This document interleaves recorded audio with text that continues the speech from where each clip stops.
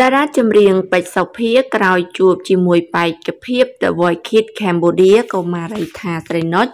ក៏បានពោលពាក្យក្នុងចិត្តបែបនេះការតស៊ូរបស់កុមារីថាស្រីនុចអាយុ10ឆ្នាំមកពីខេត្តមណ្ឌលគិរីបានធ្វើឲ្យគណៈកម្មការ The Voice Kids Cambodia និងមហាជនទប់ទឹកភ្នែកមិនបានទោះបីជាកុមារីថាស្រីនុចចាមិនបានបន្តនៅក្នុងកម្មវិធីប្រឡងចម្រៀងមួយនេះ។ ថាស្រីនុចទទួលបានការអាណិតស្រឡាញ់និងមានសប្បុរសជនជាច្រើនបន្តបន្ទាប់បានធ្វើការឧបត្ថម្ភនិងលើកទឹកចិត្តប្អូនកុំឲ្យបោះបង់ក្តីស្រមៃជាអ្នកចម្រៀង និងខិតខំរៀនសូត្រផងដែរជាក់ស្ដែងនៅមុននេះបន្តិចតារាចម្រៀងល្បីឈ្មោះ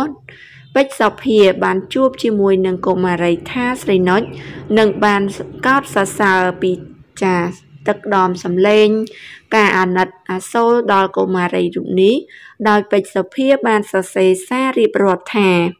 មានចរិតល្អសំឡេងអាចប្រើបានច្រើន ទាំងបាត់ញាក់និងស្លូ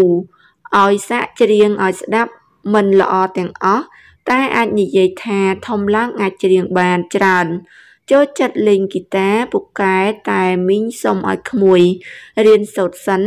ឲ្យសរសេរពាក្យក្នុងចិត្តសម្រាប់ជួយគ្រួសារនាថ្ងៃខាងមុខជីវិតជាការតស៊ូគាត់នៅក្មេងណាស់សម្រាប់ខ្ញុំ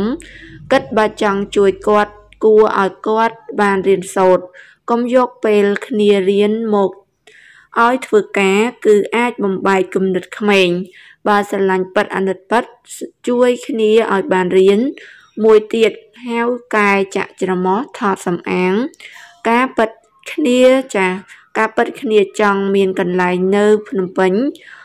ចង់មើលពាក្យក្នុងចិត្តគាត់សរសេរនោះទេ ខ្ញុំសូមមិនថតវីដេអូព្រោះមិនដឹងថាថតអ្វីសូមអរគុណចាឥឡូវនេះបងអូនស្រី ចាថាស្រីនុចគឺគាត់បានជួបជាមួយនឹងចាបច្ចសភាហើយដែលគាត់ ចាគាត់បាននិយាយថាគឺថាស្រីនុចគឺជាក្មេងមិត្តស្រីម្នាក់ដែលមានការថតតស៊ូខ្ពស់ហើយគាត់បានលើកទឹកចិត្តឲ្យក្មួយស្រីបន្តខិតខំរៀនសូត្របន្តទៀតចាកុំបោះបង់នៅការរៀនសូត្រចាចំពោះអត្ថបទព័ត៌មាននេះដែរខ្ញុំសូមបញ្ចប់តែត្រឹមនឹងសូមអរគុណនិងសូមគោរពលា